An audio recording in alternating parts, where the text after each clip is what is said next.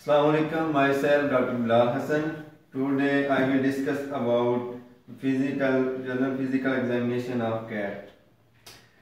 सबसे पहले हम जब एनिमल हमारे पास प्रेजेंट होगा तो उसका सबसे पहले हम हिस्ट्री लें हिस्ट्री लेने के बाद उसका टीपीआर लेंगे टेम्परेचर पर इंस्पिरेशन जो नॉर्मल कैट का टेम्परेचर होता है वो होता है जी 100.5 से लेके 102.5 तक उसके बाद आ जाता है जी पल्स पल्स होती है इसकी 120 से लेकर 140 तक उसके बाद आ जाती है रिस्पायरेशन।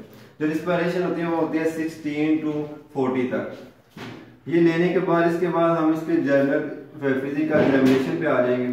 जनरल फ़िज़िकल एग्जामिनेशन में सबसे पहले हम इसे हेड से शुरू करेंगे। हेड से हम शुरू करेंगे, जिससे सबसे पहले आ जाएगा जी फेस।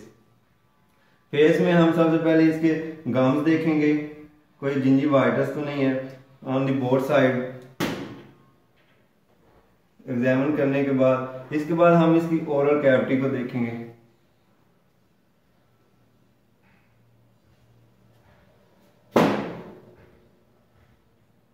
कोई टंग लियन अरोयंस वगैरह तो नहीं है, ये देखने के बाद कोई स्वेलिंग इसके बाद हम इसकी नोज़ देखेंगे। नोज़ में कोई एक्सोडेट वगैरह, कोई नेजल डिस्चार्ज ड्राई है या मॉइस्ट है देखने के बाद इसकी ऑकुलर एग्जामिनेशन पे आ जाएँगे। ये देखेंगे कोई थर्ड आई की प्रोलैप्स कोई कलर कोई एनीमिक तो नहीं है, या ऑकुलर डिस्चार्ज तो नहीं है। देखने के बाद हम इसके एयर पे आ जाएँगे।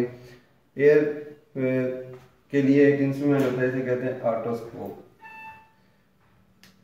आर्टोस्कोप के साथ हम इसके एयर माइट्स वगैरह देखेंगे। दोनों एयर को एग्जामिन करेंगे।